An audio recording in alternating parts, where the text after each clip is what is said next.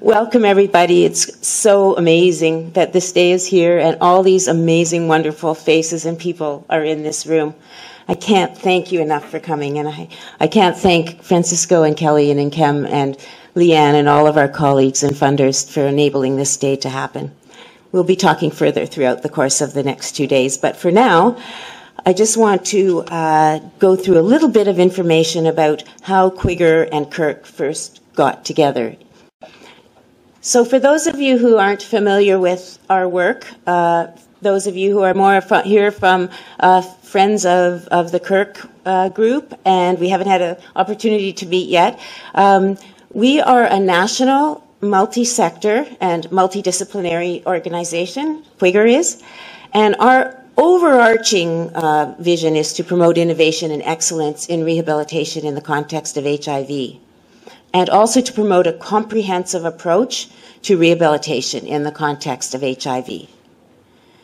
And in order to do that, we need to have a wide range of people joining us. And so you will see the, our Quigger members and partners come not only from across Canada, but other countries. All of you who are here from other countries today are, are most included. And it includes groups such as but not limited to people living with HIV and other related conditions, community-based HIV and disability organizations, national associations of health professionals, individual clinicians, researchers and educators, private business, and the employment sector. And just before we get started using the word rehabilitation throughout the next two days, this is just a general stab at what we mean by rehabilitation, although we recognize that it has many different meanings in various contexts. So for purposes of our, our work, Quigger broadly defines rehabilitation as a dynamic process that enhances body structure and function, activity and social participation to improve the overall health and well-being of individuals. And there's lots of variations on that, and we're open to continuing that conversation at all times. And the field of HIV and rehabilitation is emerging, it's also evolving, and it's growing. Evidenced today by the wonderful group that's here today. And we're continually adapting to the changing needs of people living with HIV and the environment. And that's happened over the past 15 years. And I hope that for tomorrow, a lot of that will be discussed and where the field has come from and where the field is going. We will be discussing this further at our annual general meeting tomorrow morning at 11:30 here at here at the same same room. So we look forward to having a chance to discuss a bit more about Quigger's work specifically and our AGM and the, the vision of the past and the future tomorrow. So thank you very much. I'm going to hand it over now to Kelly, who's going to take us forward from here.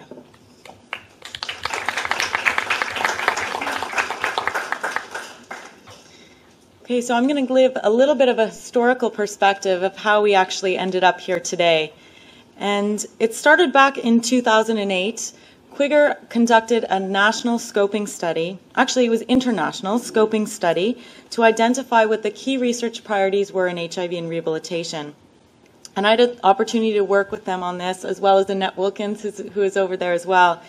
And we conducted a literature review, followed by focus groups and one on one interviews with 28 stakeholders, including people living with HIV, educators, clinicians, policy uh, stakeholders, researchers, uh, with expertise in HIV and rehabilitation. And we asked individuals, what are the key emerging issues in HIV and rehabilitation? And in your opinion, what do you think of the key research priorities in order to move the field forward?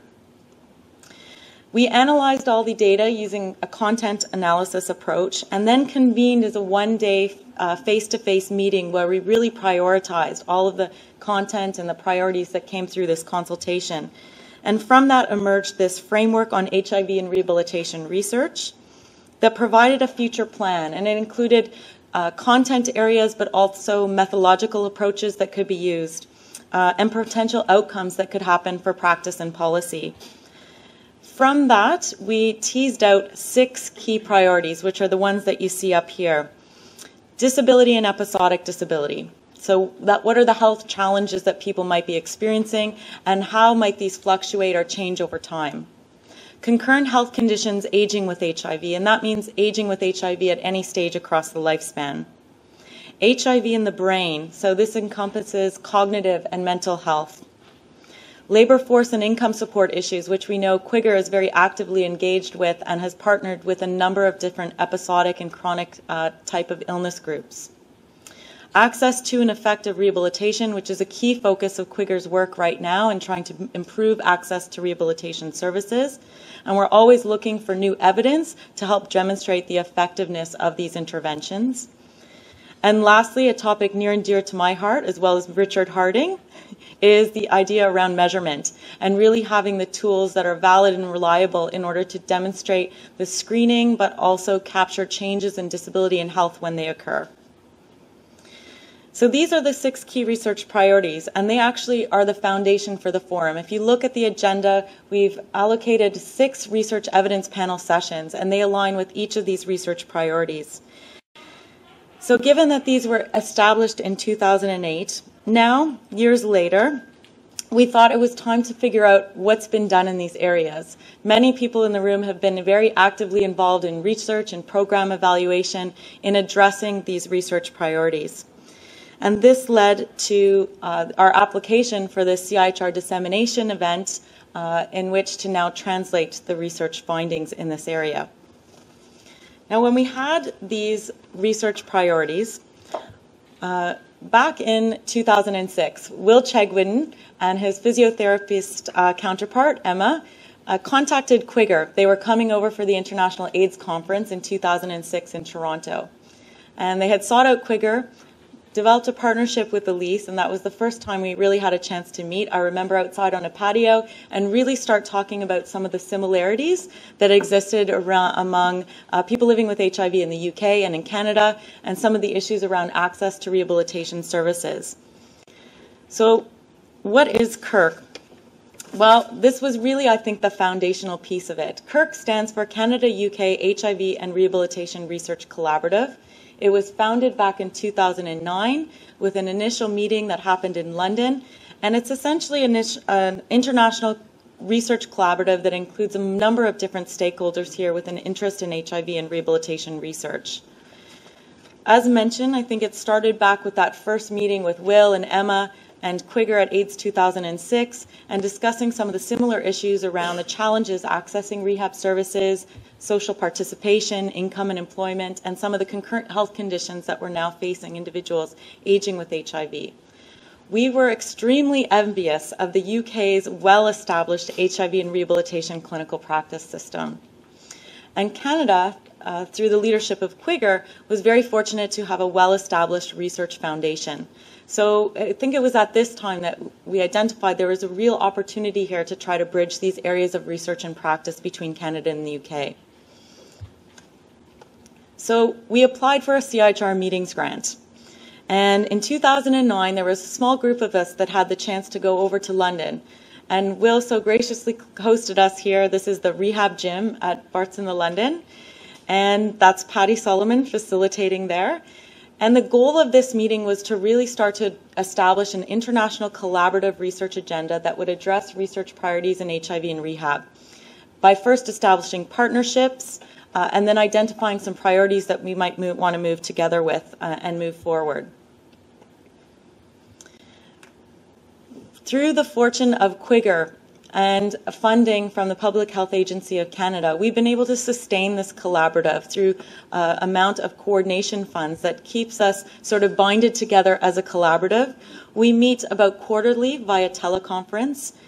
Uh, and in hearing about what people are doing in HIV and rehabilitation research. We're now comprised for about over about 40 members.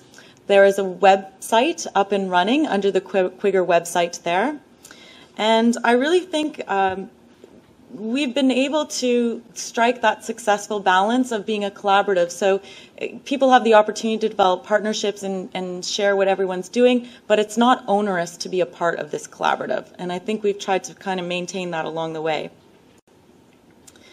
Here are a couple of examples of some of the research that's been able to move forward through the Kirk Collaborative. The first is this a policy analysis of access to rehabilitation services for people living with HIV in the UK and Canada. That was funded by the Centre for REACH, uh, and Jackie Gahagan's going to be presenting on that uh, tomorrow at the forum. And we also have the HIV Health and Rehabilitation Survey, where there's a group of individuals, and you'll hear from Stephanie Nixon later on today, about establishing a profile of disability rehab services use and living strategies among people living with HIV in Canada. And that's been funded by the CIHR. So Kirk is growing. I think it's definitely evident we've been able to develop some new partnerships, and they continue to build. One in particular and to mention is the Rehabilitation and HIV Association, or RHIVA for short. And this is a network of rehabilitation professionals in the UK, many of who are being represented here at this meeting. And they're engaged in supporting education, research, and best practice in HIV and rehabilitation. And they're fully affi- affiliated with the British HIV Association. And the uh, chair here is Will Chegwin. So hopefully we'll get more chance to uh, interact with the RHIVA members here today. But we've also made other international collaborations beyond Canada and the UK through recognizing again the similarities that also span other countries such as the United States and Ireland. Uh, so we actually see the opportunity for Kirk to really grow. And that's been demonstrated here. So that really led us to now this meeting the International Forum on HIV and Rehabilitation Research. So after four years since we had that first inaugural Kirk meeting, we all have been gone off and been trying to address these research priorities in many different ways. We thought, what a great time to sort of come back together face to face and sort of ask ourselves, where are we now? What have we been doing? What have other people been doing? And can we sort of translate this research coming onto the field? And in doing so, have a discussion about what some of the new and emerging priorities might be for moving the field forward. So the overall forum goal is to translate research evidence, knowledge on HIV and rehab that's been generated not only through Kirk and Quigger, but many of the other individuals and uh, participants who are here today you'll see that the forum agenda, it's a jam-packed agenda, I know. I take responsibility for this one. but we have great speakers in store. Day one, day two, we have plenary sessions in store. As I mentioned that we've arranged six research evidence panel sessions that align with each of those Quigger research priorities in HIV and rehabilitation. We have a combination of oral presentations, but also allocated time for some interactive discussion and as Elisse mentioned, the Quigger annual general meeting is going to be tomorrow between 11:30 and 1:30 p.m. to talk about where the field is moving. And don't forget that this evening we have Quigger's 15th anniversary celebration and award of excellence, of who the recipients of the award are Dr. Patty Solomon, McMaster University, and the organizational award, COCQ-SIDA.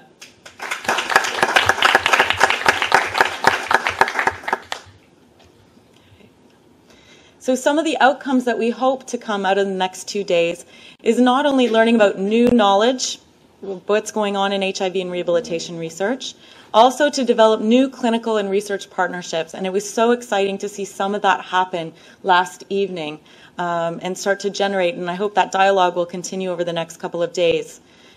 I think it's also an excellent time for us to think about what the new research priorities in HIV and rehabilitation are. And we have a mechanism that involves sticky notes and the chart paper there at the end of the end of the room that uh, we'll tell you about.